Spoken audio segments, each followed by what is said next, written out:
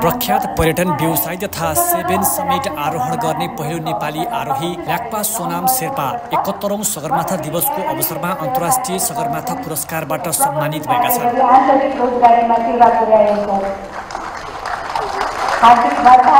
सगरमाथा दिवसको अवसरमा सरकारले आयोजना गरेको कार्यक्रममा यस वर्षको अन्तर्राष्ट्रिय सगरमाथा पुरस्कार यति एयरलाइन्स तथा थाम सेर्कु ट्रेडिङका संस्थापक सोनामलाई प्रदान गरेको हो। पाँच दशकदेखि नेपालको पर्वतीय पर्यटनको विकास विस्तार र आन्तरिक रोजगारी सिर्जनाका साथै पर्यटक भित्र्याउन गरेको योगदानको गद स्वरूप सु पुरस्कार प्रदान गरिएको सिफारिस समितिले जनाएको छ। सोनामलाई पुरस्कार प्रदान गरेपछि सम्बोधनका क्रममा प्रधानमन्त्री पुष्पकमल दाहाल प्रचण्डले आरोहीको हक हितको संरक्षण गर्न सरकारले अर्थ मन्त्रालय मार्फत एक कल्याणकारी कोष खडा गर्ने बताएका छन्।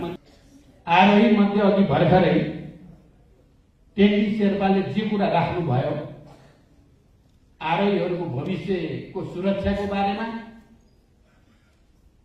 र खास गरी शेर्पा जातिको जीविकासँग सम्बन्धित विषयमा र यहाँ यो पनि राखिएको छ कि आरोहीहरूको हक हितको निम्ति र उनीहरूको सुरक्षाको निम्ति आरोही कल्याणकारी कोष बनाइयोस् भनिएको छ।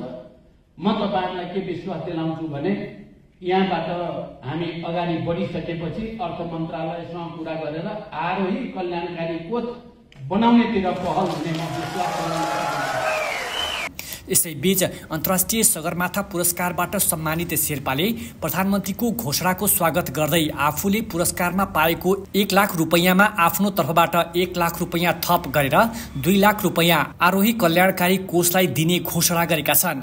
यसबाट कोष खडा गर्न दबाव पुग्ने उनको भनाइ छ। सञ्चार माध्यमसँग कुरा गर्दै शेर्पाले आरोहीको हक हित रक्षा र भर अभरका सहयोगीका लागि कल्याणकारी कोष आवश्यक रहेकाले आफूबाट यो योगदान गर्न चाहेको बताए। शेर्पाले भने मलाई अन्तर्राष्ट्रिय सगरमाथा पुरस्कारका लागि छनौट गरिएकोमा सिफारिस कमिटीलाई धन्यवाद छ।